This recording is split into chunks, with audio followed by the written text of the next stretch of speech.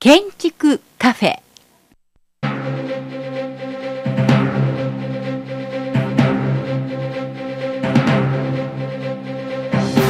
はい始まりました建築カフェ。私はパーソナリティ建築デザイナーの藤村正嗣です。はいそしてアシスタントの竹村まりです。この番組は毎週月曜日5時30分から生放送でお送りしております。もう京都はもういっぺんに夏。夏ですね。ねえもう暑いわ30え昨日が36度でしたっけね。だからもう真夏です今日もよねなんかなんか記録出したんでしょ？京都が。だよね。なはい。んかそんな暑いんですけどね、ねあの僕土曜日の日にね、あの梅田の阪急百貨店のはい。9階の、まあ、サロンというかホールみたいなのがあるんですけどね、でそこでね、まあ、僕昔ワコールに勤めてたんですけど、そのワコールのはい。展覧会をやってるんです今、はいはい。ええ。であのまあなんていうのかねその下着のねはい。その発祥から、はい。えー発祥というのはその大昔その、はい。コルセットがあったりね、はいはい。もうそのなんとなく想像していただいたら分かりますけど、はい。もうぐっと腰が細くて、はいはいはいスカートがバッと開いてるような下着あるんですよ。はいでそういうのを実はあのワコールはあの KCI というところではい。コレクションをしていてね、はい。世界一たくさんあの下着を持ってる会社なんですよ。えー。うんコレクションを持ってる会社なんですね。はいでそういう展示とそこからその現代に至るまでのそのワコールの役目というかねはい。それをこうずっとこう、まあ、手短にこう展覧会したんですよ。えー。で僕もあのフェイスブックで、はい。あの現その宣伝部長のね、はい。猪熊さんっていう方にあの、はい。ご連絡いただいて、行こうと思って、もう初日に行ったんですよ土曜日。えー。あで土曜日が初日やったね。そうそうそうで1週間なんで、はい。あのまああまだ間に合うただまだ間に合うんで、あのもし見たい人がいいらっしゃったらね、はい。梅田の阪急行ってほしいんですけどね、はい。あの本当にうまくね簡単にうまくかいつまんで下着の歴史がこう分かると、えー。うん、でそれとワコールの今までやってきた、まあ、洋風化の歴史というかね、はい。和服から洋服になった時うん。に下着が出てきて、うん。その歴史が分かるのとその広告宣伝が分かると。なるほだから本さんがどう頑張ってきたか。まあそうだよね。だから僕はもう あの行っててなんか自分の中はいてる時代のもんもあるわけそうですよね。うんいてる時代に、ね。あそうそうこういうね広告やって宣伝部やったから、はいはい。で広告重機開発したなみたいなのをね思い出しながら見てたんですよね。面白い。面白いです。はいということで、この番組は伊賀の浅田建築株式会社美瑛の協力でお送りしております。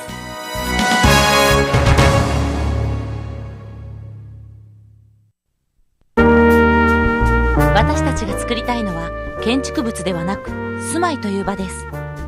年月を得て住む人に馴染んでくる。そんな住まいを提案します。伝統の匠の技と本物の素材にこだわった注文住宅を建築するなら浅田建築にお任せください。詳しくはインターネットで「浅田建築」と検索してください。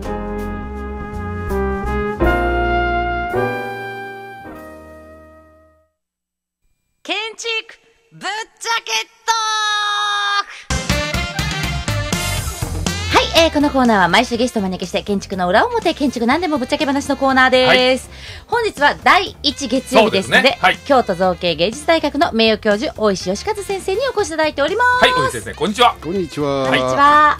あのー第4年目に入ってね、うん。はい。で大石先生の時間はまあまああのいろんな建築についてもう話し合おうということでね、はい。あのー特に台本ありません、はい。台本ありません、うん。で、はい今日はねね。はい。あのー旅館とかホテルのことをうん。少しちょっと話し合いたいなと思ってます、はいはいはい。っていうのはあの僕今すっごく多いんです。今旅館ホテルのデザインをしてることが。あ言うてはりましたね、うん、ここ数はいはい。年ですごく増えたんですね、はい。でこれはまあ僕だけかなと思いつつ考えてるんだけども、はい。よく考えるとあの東京オリンピックが決まりましたよね、はい。で京都はそれでなくても、えーシーズンになるとあの宿泊所が足らない、はい足らない。足らない。ですみたいな言ってますよね。取れないですよね言われますもんうん、ホテルと旅館いっぱいになるんですよ、はい。でまだまだ京都が足らないのかなと、うんそれにプラスしてうん。2020年にオリンピックがまあ始まるとすればですよ、まだ海外のお客さんが東京に来て、まあ、は帰りに京都の寄ろうかと、そうですね。ね遠い日本まで来たらちょっと京都も寄っとこうかそうですよね。みたい。なではい。これでかなと思うんですけど、はい。あの京都ですごい今増えてると思いますね、だから僕だけじゃないと思いますやってるのはね、うん、あの大石先生の中でその京都の旅館ってどんどんなあるべきですか？いや僕デザインしてて迷あのー迷いつつやってるんだけど。ね、はい。あの京都に住んでたから京都に泊まったことないんですけどね。そうですよね。ないんですけどもね。はい。あの私もです。ホホテルって大別するとねあのリゾート系とね、それからあと都市型のホテルっていうのがありますね。京都は今ね都市型はたくさん、まあ、それなりのいわゆる大きなホテルはね、基本的にそういうスタイルで、はい。であとはそのもてなしの古い旅館のもてなしの行き届いたようなね。そういうのなんかはあのやや滞在型になっているところがあって。であのその滞在型っていうのが僕はあの京都のこれからの旅館のね一つの方向かなと、一だから泊じゃないということですね。うんあの一泊でもいいんですけどね、うんうん。あの僕も藤村さんもよく仕事でいろんなホテル泊まるじゃないですか、はいはい泊まりますね。で結局ホテルっていうのは寝るだけでね、はいはいはいはい。うん、であの寝寝てシャワー浴びてね、でそれ以上のうんことがそこには何も起こらないんですよ。そうそう。できないっていうかね、まあ、狭すぎてっていうのもありますそれよねで、もっと言えば時間がああったとしましょう、はい。うん。今日一日ね東京はい。に出張してね、時間あったとしましょう、はいはいでもホテルにいない。それはないね。ねもったいない、うんうん。せっかくなんか行そうそうそうそういうふうになるわけね、はい。だからホテルそのもので空間を楽しむっていう経験があんまりないんですよそうですね。でそれは多分ホテルのデザインもそういうふうに作っちゃってるそうですよね。うん、ずっとだって昼間いい居心地よくないじゃないですか、うん、そうです。はいあんなそうですああいうそうです部屋でねはいでなんかあの掃除車両出ていかなあかん雰囲気まあまあそれねそれもあってね、うんだからその滞在してホテルが住宅のようにうんうん。あるあればいいなっていう部分もあるね。うん。特に京都の場合はね。そうですね。うん。あの私がねあのここ数年やらさせていただいてる、うん。まあはい。青い京都ステイさんっていうのがあるんですけど、でそこのそこはまああのご存知の方いらっしゃいますけど、はい。町屋一軒貸しなんです、うんうん。はい。一棟貸しなんです、で町屋をあの、まあ、改装して寝れるようにした、はい。まあ、ちょ当然その許可は得てます。旅館業法、はい。法律的な許可、えー消防の許可得て一棟貸しをしてるんですけど、うん。はい。そこのね常連さんがやるんですよ、うん。ね？常常連さんってね、はい。どんな方やっていうと、はい。エディターなんです。うんうんで今大石先生が大石先生が言わはったそのままで、あのまあ、雑誌の本社って大体ですけど東京なんです。関東なんです。で京都特集やるとはい。雑誌ってよく売れるんです。はい。ということはそれを、えー写真撮ってそれをはい。編集してそのエディターっていう、そのエディエディションする人が、京都に1週間なら1週間泊まって、はい。取材をしなければいけない。はい。でその時にホテルやと大石先生言われる通り書く場所がないんです。はい。ライターまあうん。例えばパソコン置いてやる場所がない。です、で、えー青い京都ステイっていうのは大はい。体鴨川が見えたり、あのはい。えー高瀬川が見えるところがはい。アトリエになってるんです。よ、はい要するにそのあのワークスペースがあるわけ、はいはい。ソファーとかね。そういう机が置いてあって、だから鴨川見ながらはい。あのもう編集しちゃうんです。そこでエディションしちゃうんです、だからねもうじょ1週間バーンと撮るんです。で京都その間ずっと取材して昼間、まああの昼間どっか出てたら夜そこでやったり、うん。夜取材してたら昼間そこで書いたりね、そういう使い方。ですごだからさっき言ったその過ごすっうん。ていうことがまあできてるんですよその中で、そうですね。うん。だからまあ人気あるのかな、かつての作家もそうでしょ。小説家の皆は1か月ぐらいうん。投留されて、そうん、でゆっくり書いてうん。書けなかったり書けたりしながらそうでねですすね。ななんかな長い間ねいた人いるますよねそう温泉旅館にね。そこでそえ。のつかず離れずのもてなしをしながらえね、はい。仕事をこうきちっとできるような環境を作っていくっていうねこれがね一つの旅館のあり方かもしれませんね。ううん。ん。だから今までちょっとこう数が多くて、はい。こう砂漠といった言い方よくないんですけど、うん。うん。うんまあ泊まってうんご飯食べてもうシャワー浴びたら出てってくださいみたいなのが多かったけれども、ちょっとこう京都も滞在型っていうかね、ある意味長期にうん。過ごせるようなものが増えてきてもいいのかもわからないですあのよね。まさに藤村さんがやっておられるね町屋を改修なんていうのはね、あの佇まいも町の中じゃないですか。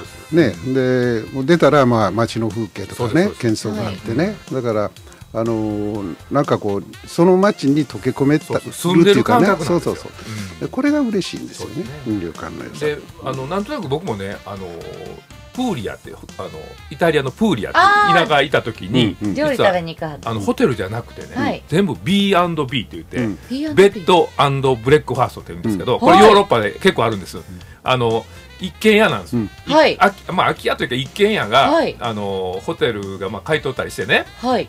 経営してるわけですよ、はい。でまあ、寝る寝場所があるよベッドやからね、ではい。ベッドブレックハウスって言って、はい。誰かが来てくれて朝,、はい。朝飯くっ作ってくれるんですよ、はい。キッチンで。キッチンで、でバーッとそのダイニングで僕ら食べる。はい。よくその向こうの家のスタイル。そこまでって感じうんうん、家のあの家のねその向こうと同じスタイルで料理も向こうの料理で作ってくれるわけ、面白い。うん。ね、それ B&B いいいやそれ安いんですよ、えー。あの普通のホテルより安いんですよだけど B&B ってよくありますよねヨーロッパ行ったあらりますね。いいですね。あの平たく言うと民宿みたいなもんでね。ああいいな日本のね。はい。うん、だから僕私も生まれて初めて海外行った時にロンドンだったんですけど、はいはい。ロンドンの郊外にホワイトライオンという今忘れもしない名前のはいはい、うん。旅館に入ったんですけどね、旅館というか民宿ですね、うん、そうしたらあの朝あのそこの奥さんがね、はいはい。あのブレックハウスを作って作ってくれるんですよね。作ってくれてね、うんうん。うん。でライオンぐらい大きい犬がいたんでびっくりしたんですそれ から名前は。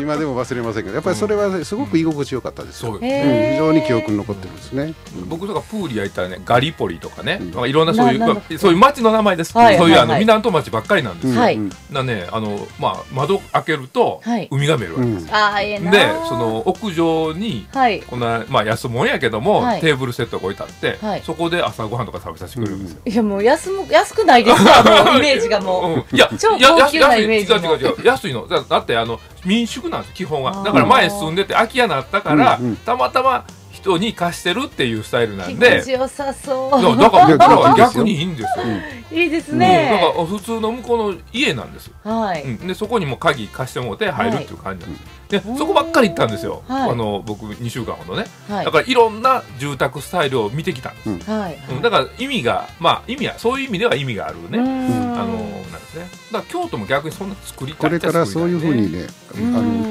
京都はそういうふうな形で残し残しながらっていうかねいろんなものを残しながらだから新しいビルをビルでなホテルをどんどん建ててねはい。なんか100室200室300室なんて言わなくて、そういうのをね。そういう形のうん。それがまた町屋の利用の仕方につながるかもわからない。そういうことです。まあ、保存にもつながる。そういうことです。はい。ね。それが一番いいですね。なんかこう綺麗にまとまったところで、はい。はい。音楽いきましょう。かはい、それで今日は、えー、藤人のリクエスト曲になります、はい。なんとマイケル・ジャクソンの新曲だそうです。新曲なんですはい。マイケル・ジャクソンの「ラブネバーフェルト・ソー・グッド」です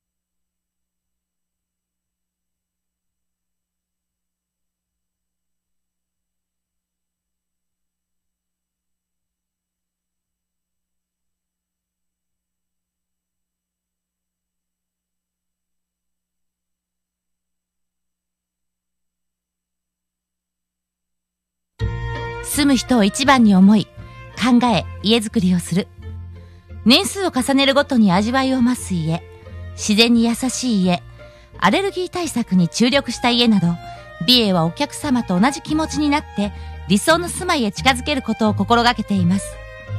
生きた木にこだわった京都の工務店、注文住宅やリフォーム増改築など、住まい木造の家のことなら、株式会社美瑛まで。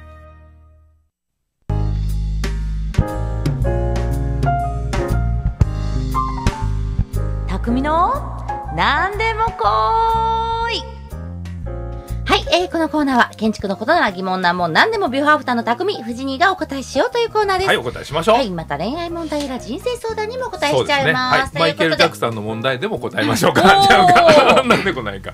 えーじゃあ聞きたかったですけどね、いろいろとね。は、はいい、えー、今日もお便り来ております。はい、ありがとうございます。ラジオネーム三条小僧さんです。はいもういつも本当感謝してます。ありがとうございます。はい、えー、藤井まりちゃん、こんにちは。はい、こんにちは。こんにちは。はい、いきなりドッカーンと暑さがやってきました。そうそう、本当京都暑い。ほんまにドッカーンです。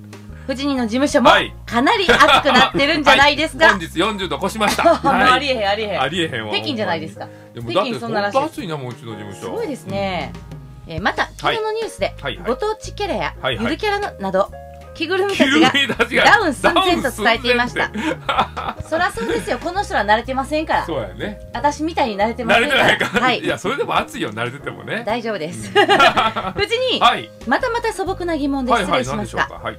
和風建築やはい。和風住宅という言葉がありますはいが、ありますね。この和ええ風とはあー建築はいはい。または家の部分で言えばどの部分から来るものなのでしょうか、ね。はいはい。えーまた設計やデザインをするにあたりセオリー的なものがあるのでしょうか、はいはい。えー逆に洋風の場合はどうなるのでしょうか、ね。ということです、まあ今日はね大石先生もいらっしゃる。はい。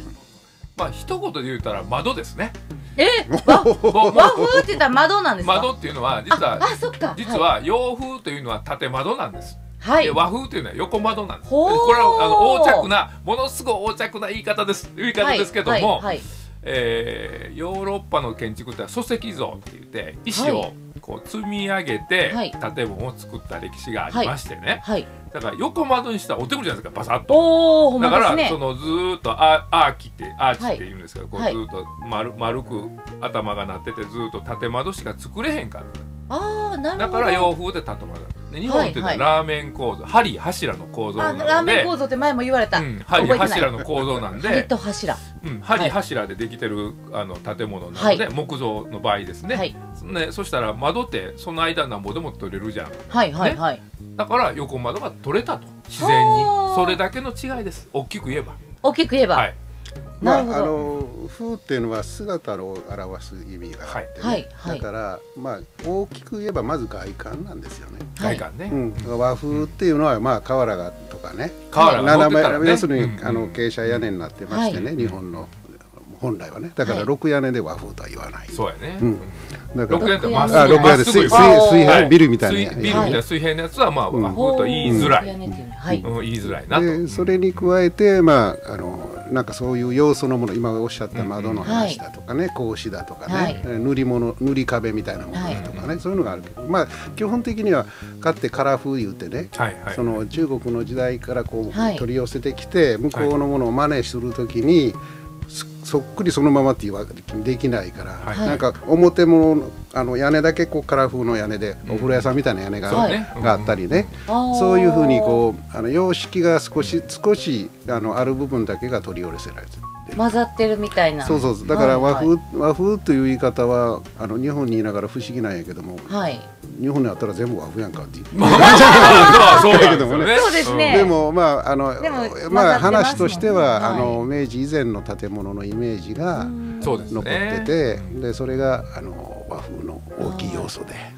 でで古い建物で残ってます豊かってレンガ造りのとかもありますもんね。明治以降は、まあ明治以降ですよ。もちもちろんそれそれを洋風というですよね。はいうん。はいだからまあレンガ作りはあの古くても洋風って言うんですよ、はい。洋風建築って言うんですよ、はい。で古くてもあのまあ古くて当たり前やけども、わらぶき屋根とか、はい。瓦屋根のものは大体まあ和風っていうのが多いですよね。まああの昔はレンガ作りで瓦乗ってるものもあったんですけどね、へその昔のありましたよ。当初はねあったんですよ。だからそれは折衷っていうやつ折衷ですか、もうお料理みたいになってきましたね。和洋折はい。衷のねやつで日本の様式と向こうの様式をこう。うーん。だからいついつの時代を切るかというのはねすごい難しいですね。ではい。本当ねその歴史で言うとねまあこ和風洋風っていうのはその見た目なんですけど、はい日本人の面白い風習っていうのはね、はい靴を脱ぐということなんです。はいはいはい。でこれはねもう決定的に、まあヨーロッパの人たちと違う風習なんですよね。はいでこれは洋風に住もうが和風に住もうがはい靴脱ぐ人がほとんどなんですよ。はい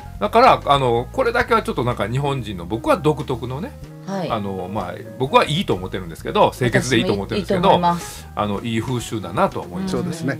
うんはいあのウエスターのけじめがついてるんですよ。うん。はい。あの今のおっしゃるね。そうですね。はい。だから靴が履いてるところは土間であってかってはね。はい。そうです。だから意味嫌う場所なんですよね。うん。汚れてるんですよ、はい。その上に板の間であったり畳の間があって、そうですね。ね。うん。それがまあ今日もおっしゃるように残っててね、うん。外と内っていう違いがそこではっきそうですねりするんです。うん。だから畳っていうのは、まあ靴で上がることはもうありえない。ありえない。はい。ね、ですからやっぱり畳の間があると、まあ、和風って言いますよね、うんはいだからやっぱりなんでかいうと靴を脱ぐ習慣があるから畳という素材が出てきて、はい。あのあこでまあ寝そべったりね。そうね。あのまあ、靴を脱がないからそういうことができるといはい。うもので、まあ、畳という存在が出てきたんでしょうね、うんでも畳ってまあ言ったら江戸とかは庶民は畳ないですからないですね板の間ですからね。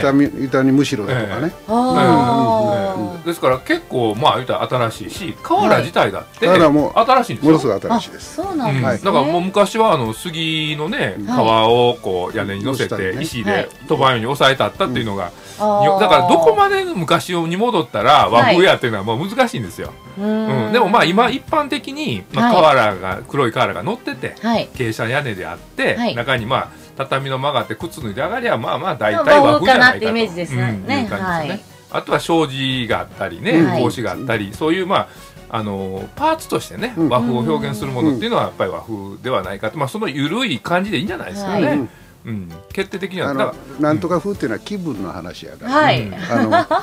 なるほど。なんかこれがこうしたらこうやということでは定説は特にはありませんね、らだから逆に洋風に見えるっていうのは、縦長の窓を作ると結構洋風に見えますそわうそうそうそう。逆にね。面白いですね、ね。だから和風って大概その、まあ、横横窓っておかしいですけど、まあ、コルビュジエはちょっと横窓提案したんだけどもあのまあ横,、ま、横窓の,、はい。あの開け開きやというかね引き戸はい。うんが、まあ、和風かなっていう感じですよね。引き戸は和風って気がすそうですよね。すね。はい。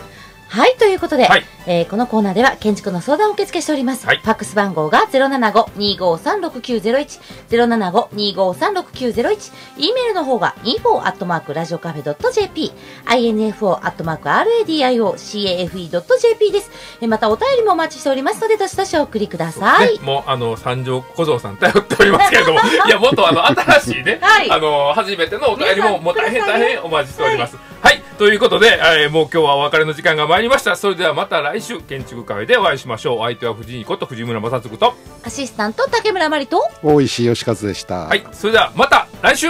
さよなら。さよなら。この番組は伊賀の浅田建築、株式会社美瑛の協力でお送りいたしました。